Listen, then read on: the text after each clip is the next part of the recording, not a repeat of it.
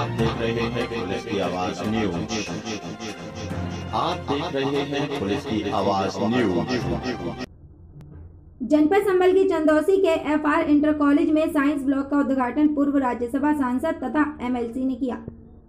जनपद संबल की चंदौसी में फुब्बारा चौक के पास स्थित एफ़ आर इंटर कॉलेज में समाजवादी पार्टी के पूर्व राज्यसभा सांसद जावेद अली खान एवं एमएलसी परवेज अली की निधि से निर्मित साइंस ब्लॉक का उद्घाटन जावेद अली एवं परवेज अली के द्वारा किया गया। इस विषय में राज्यसभा सांसद ने कहा कि हमें खुशी है कि हमारी निधि के पैसे से बच्चों को अच्छी शिक्षा मिलेगी। वहीं परवेज अली ने कहा कि यह बहुत पुरानी शिक्षण संस्था है, जिसमें हमारी निधि से साइंस ब्लॉक का उद्घाटन किया गया है। हम लोगों को काफ़ी अच्छा महसूस हो रहा है कि हमारी निधि बच्चों की पढ़ाई के काम आई। इस अवसर पर विद्यालय में सांस्कृतिक कार्यक्रम भी आयोजित किए गए।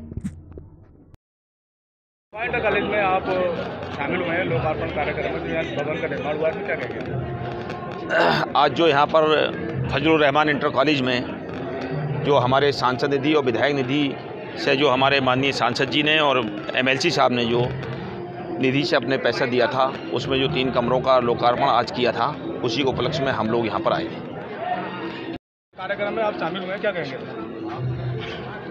ये अल्पसंख्यक चरित्र का विद्यालय है। और हमारे क्षेत्र में, चंदोसी क्षेत्र में, तहसील में, ये एकमात्र अल्पसंख्यक क्षेत्र का विद्यालय, जो 1960 से अपनी सेवाएँ दे रहा है।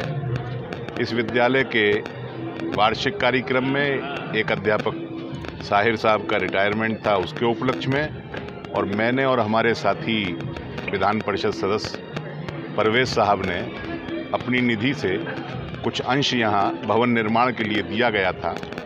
उनका लोकार्पण होना था। उस उपलक्ष्य में हम यहाँ आए थे। यही आज का कार्यक्रम था। इस एफ़ इंटर कॉलेज कुछ पैसा दिया गया था जिसमें कुछ कमरों का निर्माण कराया गया और आज उसका लोकार्पण में आप शामिल हुए उद्घाटन किया आपने क्या कहेंगे इसमें? आपके क्षेत्र की बहुत बड़ी फजल रहमान स्कूल है। हम लोगों तक विभिन्न माध्यमों से इसकी तारीफ़ें पहुँचती थीं और साथ में ये भी पहुँचता था कि यहाँ भवन की ज़रूरत है, कमी है।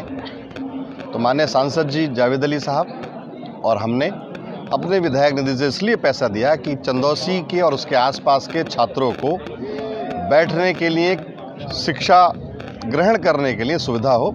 हम लोगों ने कक्ष दिया और ऐसी हम उम्मीद करते हैं मैनेजमेंट से और ईश्वर से ऐसी दुआ करते हैं, अल्लाह से दुआ करते हैं कि हमारे दिए हुए पैसे का अच्छा इस्तेमाल भारत के छात्रों को, इस क्षेत्र के छात्रों को मिले और वो आगे बढ़ें। धन्यवाद।